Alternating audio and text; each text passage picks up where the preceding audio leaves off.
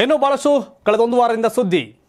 ಉದ್ಯಮಿ ಗೋವಿಂದ ಬಾಬು ಪೂಜಾರಿ ಟಿಕೆಟ್ಗಾಗಿ ಏಳು ಕೋಟಿ ಕೊಟ್ಟು, ಐದೇಳು ಕೋಟಿ ಕೊಟ್ಟು ಈಗ ಅವ್ರನ್ನ ಜೈಲಿಗೆ ಹಾಕ್ಸ್ತಾರೆ ಚೈತ್ರ, ಕುಂದಾಪುರ ಸೇರಿದಂಗೆ. ಈಗ ಸ್ವಾಮಿಗಳು ಏನು ಅಭಿನವ ಅಲಸಿ ದೂರು ಕೊಟ್ಟವ್ರು ಈಗ ಇವ್ರ ವಿರುದ್ಧನೇ.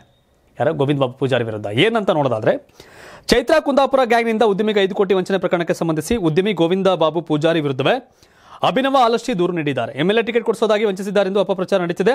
ತನ್ನ ವಿರುದ್ಧ ಸಾಮಾಜಿಕ ಜಾಲತಾಣದಲ್ಲಿ ಅಪಪ್ರಚಾರ ನಡೀತಿದೆ ಎಂದು ಉದ್ಯಮಿ ಗೋವಿಂದ ಬಾಬು ಮತ್ತು ಅವರ ಆಪ್ತರ ವಿರುದ್ಧ ಅಭಿನವ ಆಲಶಿ ದೂರನ್ನು ಸಲ್ಲಿಸಿದ್ದಾರೆ.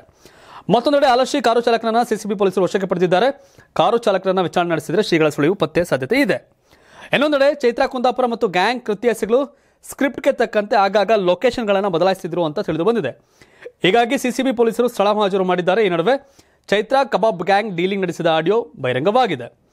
ಇದರಲ್ಲಿ ಕಾರ್ಗಳ ಶಾಸಕ ಸುನಿಲ್ ಕುಮಾರ್ ಹೆಸರು ಪ್ರಸ್ತಾಪ ಮಾಡಲಾಗಿದೆ. ಒಟ್ಟಾರೆಯಾಗಿ ಹಿಂದುತ್ವದ ಫೈರ್ ಬ್ರ್ಯಾಂಡು ಭಾಳ ಬೆಂಕಿ ಚೆಂಡು, ಭಾಷಣಗಳ ಸರದಾರೆ, ಹಂಗೆ ಹಿಂಗೆ ಅಂತೆಲ್ಲ ಹೊಗಳ್ತಾ ಇದ್ರು. ಆದರೆ ಇದೊಂದು ಪ್ರಕರಣ, ಹಿಂದುತ್ವ, ಹಿಂದುತ್ವದ ಹೋರಾಟಗಾರರು ಅವರ ಹೋರಾಟದ ಲೆಕ್ಕಾಚಾರ, ಹೋರಾಟ ಮಾರಾಟ ಆಗಿದೆ ಅನ್ನುವಂಥ ಬಂದು ನಿಂತಿದೆ. ಚೈತ್ರ, ಕುಂದಾಪುರ್ ಟೀಮ್ ವಿರುದ್ಧ ಬಂದಿರೋ ಆರೋಪ ಮತ್ತು ಆಕೆ ಈ ಒಂದು ಪ್ರಕರಣ ಇಡೀ ಹಿಂದುತ್ವದ ಬಗ್ಗೆ ಹೋರಾಟ ಮಾಡುವ ಒಂದಷ್ಟು ಜನರ ಮೇಲೆ ಒಂದು ರೀತಿ ಕಳಂಕದ ರೀತಿ ಆಗ್ತಾ ಇದೆ.